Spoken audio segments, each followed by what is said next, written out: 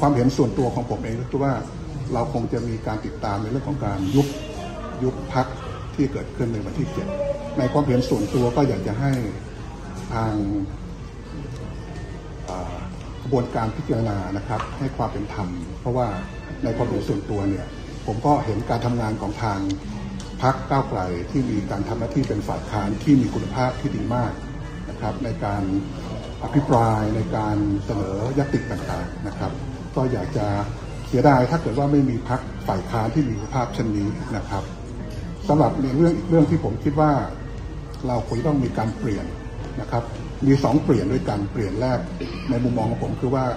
สมาชิกวุฒิสภาจำนวน 200 คนเนี่ยจริงอยู่จะน้อยกว่า 250 คนในชุดที่แล้วนะครับ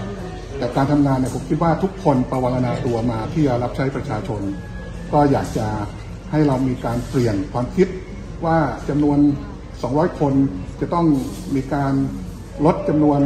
กรรมาธิการลงเนี่ยผมมีความเห็นขัดแย้ง เพราะผมคิดว่าเรามีความการทำงานนี้เรามีการวางแผนในการทำงานให้ให้ได้ ในการที่จะทำงานหนักเพิ่มขึ้นนะครับ ในชุดก่อนหน้าชุดที่แล้ว มีจำนวนสมาชิกวุฒิสภา 150 คน ก็ยังมีกรรมาธิการ 22 ชุดนะครับ ก็อยากจะให้ทางสมาชิกวุฒิสภาทุกคน ท่านประธานท่านรองประธานได้พิจารณาอย่าง เต็มที่นะครับว่าเราจำเป็นจะต้องมีจำนวนกรรมธิการในครั้งนี้เนี่ยกี่ชุดด้วยกัน แต่ผมแล้วก็สมาชิกวุฒิสภาอีกหลายท่านพร้อมที่ทำงานหนักครับเพื่อประชาชน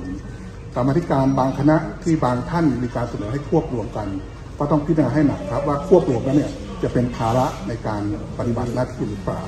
นะครับ ก็คงต้องติดตามการประชุมวันนี้นะครับ วันนี้ก็คงจะมีการถกกันเยอะพอสมควรครับ ขอบคุณมากครับ